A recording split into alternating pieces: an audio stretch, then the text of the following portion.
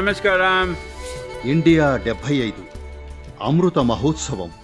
ఈ సందర్భంగా నేనేం చేద్దాం అనుకుంటున్నానంటే ఈ దేశ స్వాతంత్ర్యం కోసం తమ జీవితాలను పణంగా పెట్టిన విప్లవకారులు ఎంతోమంది ఉన్నారు ఈవేళ మనది స్వతంత్ర గణతంత్ర దేశం. దీని సాకారం వెనుక తొంభై ఏళ్ళ పోరాటం ఉంది.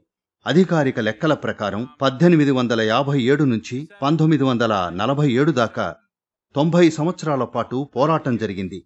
దగ్గర దగ్గర మూడు నుంచి నాలుగు తరాల ప్రజలు పోరాడారు.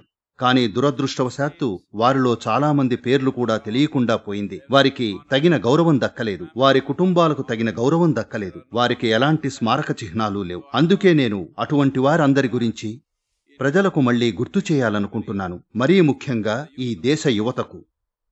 ఎందుకంటే కృతజ్ఞతాభావం లేనిదే ఏ దేశము పురోగతి సాధించలేదు. మన పూర్వీకులు మన కోసం చేసిన విషయాల పట్ల మనం గౌరవంతో ఇంకా కృతజ్ఞతాభావంతో ఉండటం అనేది చాలా ముఖ్యం. దీనిలో భాగంగా ఇవాళ అంటే మార్చి ఇరవై ఒకటిన మట్టిని రక్షించు ఉద్యమం మొదటి రోజున నేను మీకందరికీ తెలంగాణ ప్రాంతానికి గోండు తెగకు చెందిన ఒక గొప్ప నాయకుడు కొమరం భీం గురించి గుర్తు చేయదలుచుకున్నాను. ఈయన గోండు తెగకు చెందినవాడు. కొమరం భీం. గిరిజనులకు తమ సంప్రదాయ హక్కులుంటాయి. సహజంగానే వాళ్ళు తమ హక్కుల ప్రకారం అటవీ ప్రాంతంలో జీవిస్తూ ఉండేవారు. అయితే కొందరు బ్రిటిష్ అటవీ అధికారులకు ఇది నచ్చలేదు. దాంతో వారు గిరిజనులు తమ జీవనోపాధి కోసం అటవీ వనరులను ఉపయోగించకుండా చేయాలనుకున్నారు. దాంతో చిన్న వివాదం మొదలైంది. అది పెరిగి పెరిగి క్రూర స్థాయికి చేరుకుంది. చాలామంది గోండు ప్రజల చేతి వేళ్ళను చేతులను నరికేశారు. Where many of these tribals, their fingers and hands were cut off. అప్పుడు కొమరం భీమ్ తన తెగ ప్రజల కోసం పోరాటం చేయడానికి ముందుకొచ్చాడు. ఎన్నో ఏళ్ళపాటు పోరాడాడు. గొరిల్లా సైన్యాన్ని తయారు చేసి ఆంగ్లేయులకు వ్యతిరేకంగా ఎంతో ధైర్యంగా పోరాటం చేశాడు. ఒక గొరిల్లా యోధుడిగా అతని ధైర్యం పరాక్రమం గురించి ఇప్పటి తెలంగాణ రాష్ట్రంలోని ఆ ప్రాంతంలో ఒక గొప్ప ఇతిహాసంగా చెప్పుకుంటారు.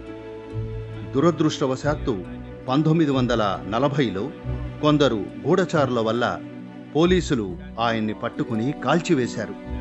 ఆయన తన తెగ ప్రజల కోసం ఇంకా ఈ దేశం కోసం పోరాడి తన ప్రాణాలనర్పించారు దీన్ని స్మరించుకోవడం మంచిది. ఆయన త్యాగాన్ని ఆయన పరాక్రమాన్ని అన్నింటికీ మించి తన ప్రజల సంక్షేమం పట్ల ఆయనకున్న నిబద్ధతను స్మరించుకోవాలి. మన యువత ఇది గుర్తుపెట్టుకోవాలి. రానున్న డెబ్బై ఐదు రోజుల పాటు మనం మర్చిపోయిన ఒక విప్లవకారుడు గురించి నేను ప్రతిరోజు సోషల్ మీడియా ద్వారా గుర్తు చేద్దామనుకుంటున్నాను.